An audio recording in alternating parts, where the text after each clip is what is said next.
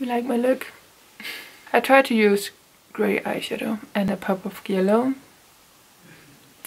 and busted out my stone lipstick from NYX. I really like it. Hi guys and welcome back to my channel. Today we are going to do a shop my stash or shop shopping our stash video in 2019 and the first half of 2020.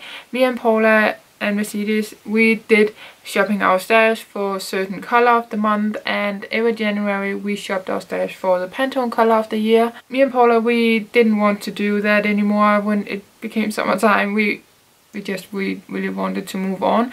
But we thought it would be really funny to shop our stash for the Pantone color of the year every year. This year is a weird one the Pantone color of 2021 is Ultimate Grey and Illuminating Yellow. For this video, me and Paula, we are going to shop our stash for grey. We have done a silver video, so I will link that down below. And we have done a yellow video where we shopped our stash for those. I don't really have any bright, intense neon yellows in my collection. I have checked. I have some really bright yellows and shimmery and matte and everything like that, but we already shopped our stuff for that. So for me not repeating myself, go watch that yellow video and plus the silver. I will try to not talk about the silver ones in here um, and just the grey ones, the darker, darker greys. These colors are not going to be perfect, but we're just shopping our stash for the color so we don't go buy heaps of that color because we don't know or don't think we have that in our collection. So that is really the point of this series we did. And i'm really excited to share you my share with you my grays. I don't wear gray. I don't. This shadow look right here and lip is so rare that is really non-existent.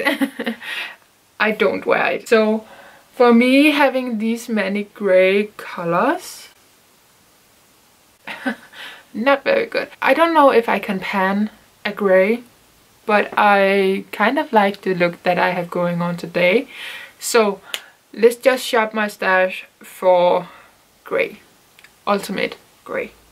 Let me start out with the only single shadow that I could find that was like kind of grayish and that is a shadow that was in my Panda palette for 2020.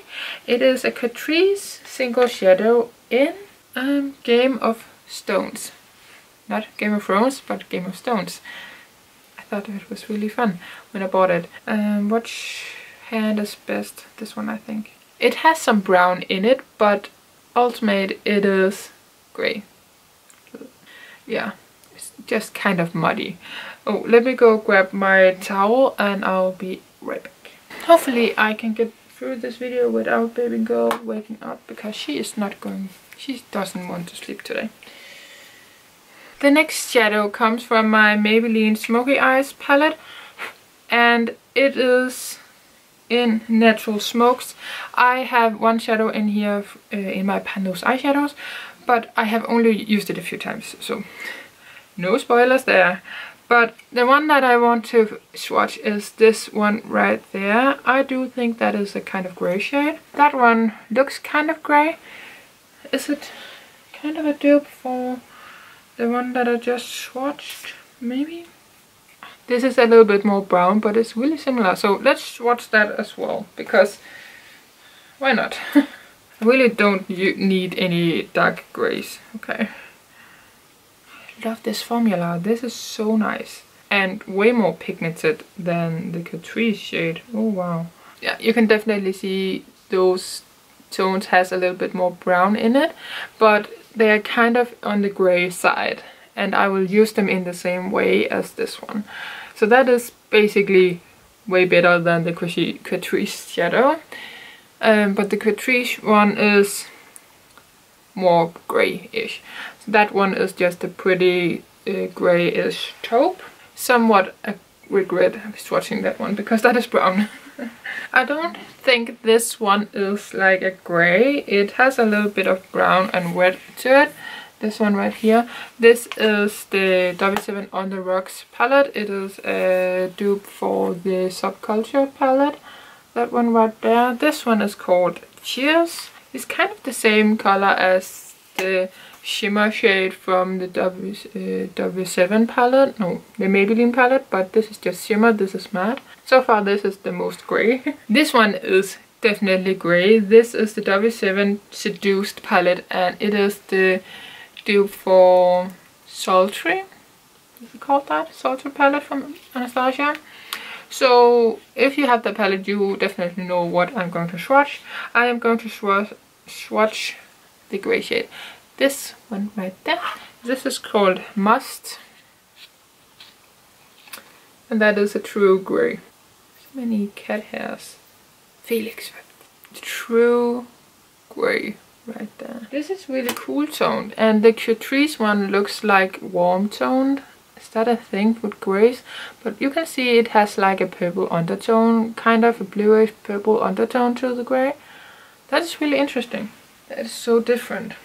But yes, so far one true grey and four not so much. But we're shopping our stash and I really don't need anything else. Then we have my Gwen Stefani um, Decay collab palette. And I'm going to swatch Serious. That shade right there. So that is like a darker grey, but it is grey.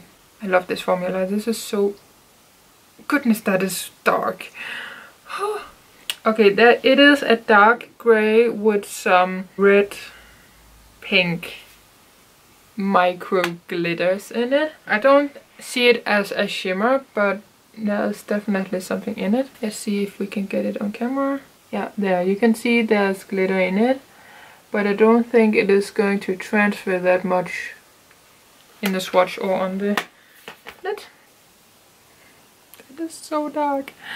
Just, oh my god, that one. Look at that, that is so dark. Oh my god. But it is grey. It's not black and it's not a taupe. It's not a brown. It's grey.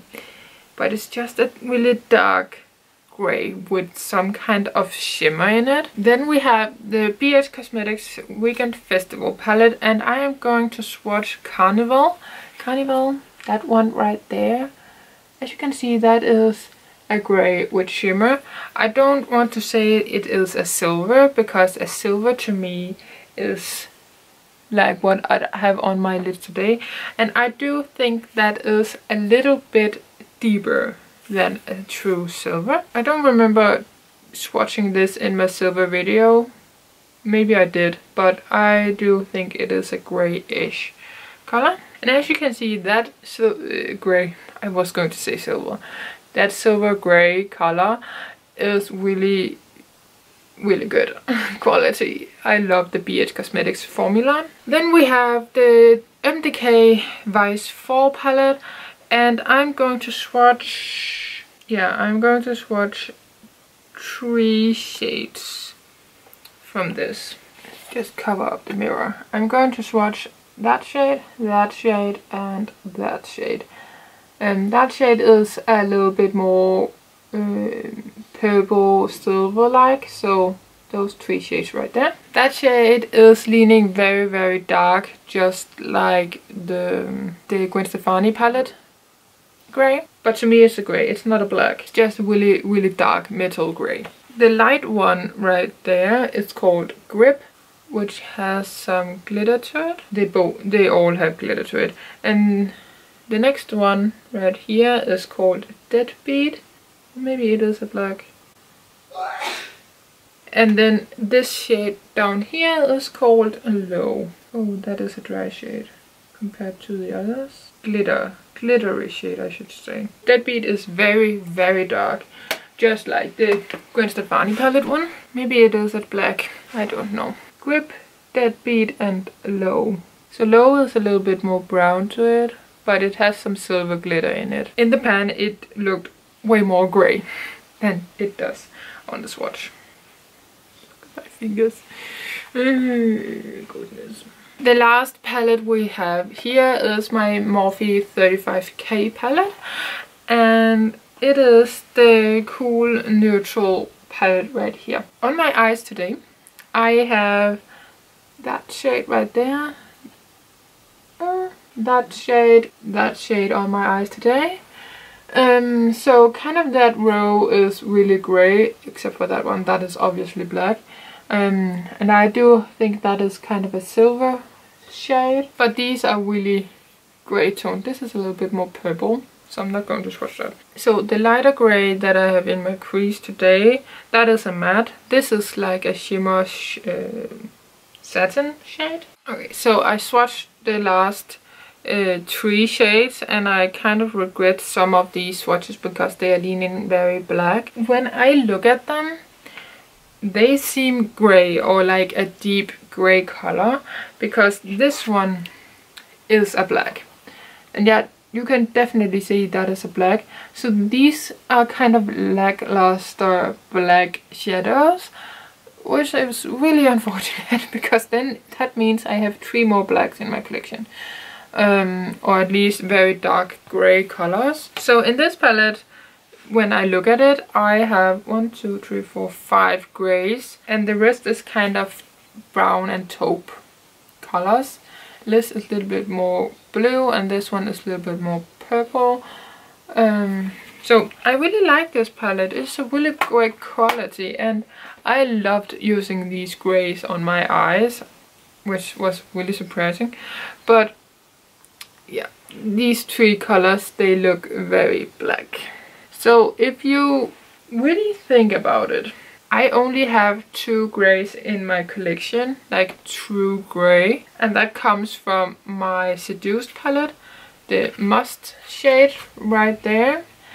And then from my 35k palette, that shade right there. Otherwise, I don't think I have any more like true grey colors but these when I look at them I think of them like a grey shadow I don't think of them like a three deep black shadow or deep um, brown or like a taupe or something like that. I think about them as grey. Yeah. so these are all my greys in my collection. Greys in my collection. Yeah, I think that is way too many, but we can do it. so if I wanted to pan these colors, they were definitely going in my outer V or um, with the lighter grays, they are going to be crease shades, crease shades um, definitely the shimmer shades, shimmer, shimmer shades are definitely going on the lid or uh, like a glitter liner. That would be pretty as well. Getting ideas, you know, for future product pans if I decide to pan these. I don't know, especially the blacks because I don't wear black. Um, I just really don't. So, yeah, let me know if you have shopped your stash or will shop your stash for grays and what do you think about the Pantone color of 2021. I don't know. I saw Freethetomatoes. I don't remember your name. I'm so sorry. I saw your Pantone color in Project Pan. She said that the people that decides the Pantone color of the year, they said it was going to be ultimate gray, but then spiced it up with some yellow because 2020 was boring and that shade, the grey shade is boring. So let's make some fun out of it and make 2021 better than 2020. I thought that was really funny. I don't remember how she said it, but the way she said it was perfect. It was spot on. I love that. So yeah, I have too many grays. I'm really excited to see Paula's video and please check her out if you don't know her already. If you know me, you definitely know her because I do a lot of project pans and collabs and stuff like that with her. I mention her so often. And if you come from Paula's channel, welcome. My name is Elisabeth. I live in Denmark. I just got my baby girl in the fall time, like in the end of September. So my makeup wearing is out of uh, routine all in all, I really hope you guys enjoyed this video and are excited that me and Paula are going to bring it back every January, every year, because we really enjoy at least checking our stash for the Pantone color. Did a lot of colors in that past one and a half year and I will link all of them down below and of course um, Paula and Mercedes channels because Mercedes was was a part of this for uh, like half a year. So I hope you guys enjoyed and until my next video, please take care. Bye!